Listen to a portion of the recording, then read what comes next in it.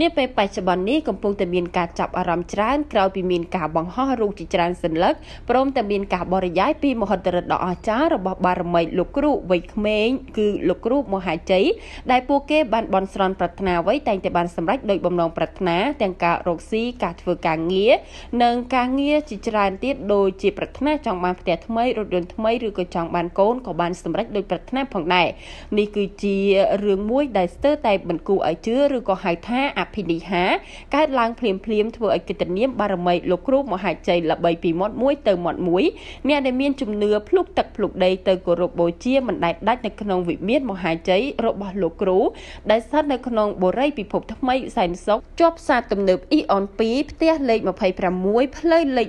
23បើតាមការបញ្ជាក់ពីទីសក្ការៈវត្ថុស័ក្តិសិទ្ធិបូជារបស់លោកគ្រូមហាជ័យគឺពិតជាស័ក្តិសិទ្ធិណាស់រាល់បំណងប្រាថ្នាមិនថាតូចធំសំបានសម្រេចគ្រប់យ៉ាងទុកលំបាកគ្រប់យ៉ាងនៅក្នុងជីវិតអាចដោះស្រាយបានដោយគ្រាន់តែកាន់ផ្កាឈូកមកបូជាទានធូបសុំពរជ័យពីកន្លែងនោះប៉ុណ្ណោះ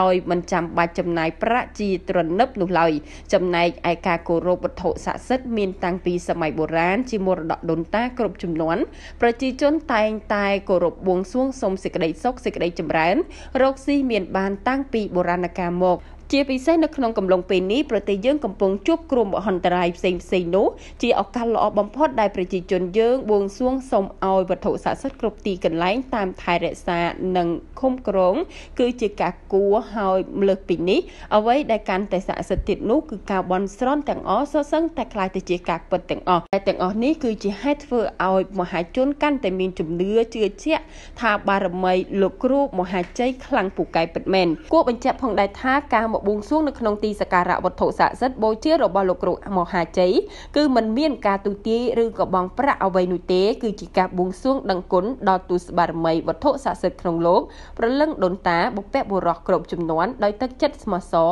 មិនប្រព្រឹត្តអំពើអាក្រក់មិនលោភលន់នោះអ្នកទាំងឡាយនឹងទទួលបានផលជាទីគាប់ចិត្ត